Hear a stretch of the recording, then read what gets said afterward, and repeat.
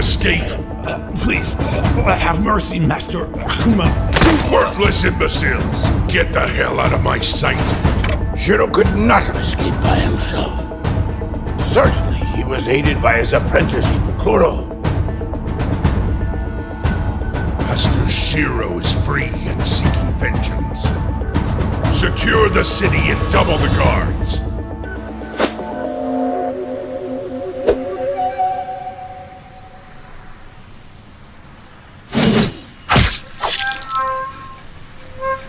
Mm-hmm.